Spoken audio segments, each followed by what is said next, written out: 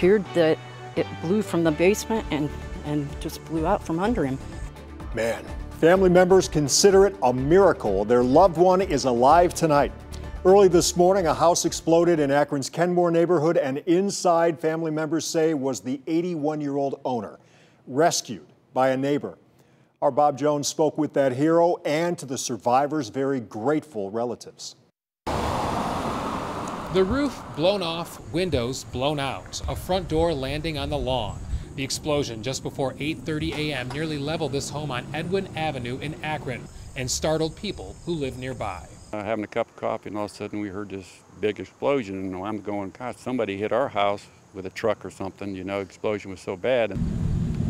But Brian Osborne quickly realized it was his neighbor's home that blew up. Paul Stauffer, a grandfather, lives here alone, according to his family. Brian raced into the house even as flames shot up from the basement. I kept yelling for Paul, couldn't hear nothing.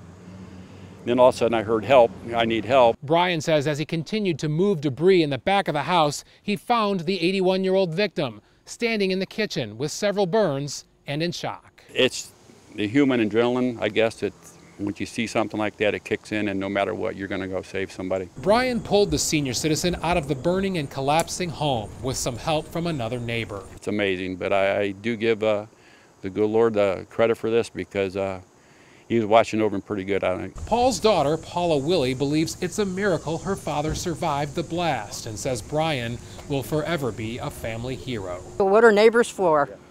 That's awesome. Paula says her dad suffered multiple burns and is now being treated at the burn unit at Akron Children's Hospital. His head, his shoulders, the back of his legs.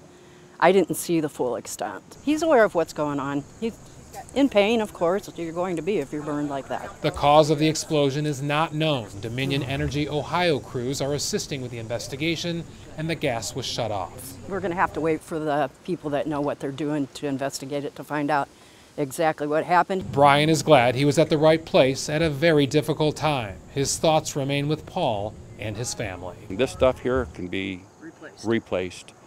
Paul, on the other hand, human, they can be replaced. We'll just hope everybody says a bunch of prayers for him and we get him back to health real soon. In Akron, Bob Jones, News 5.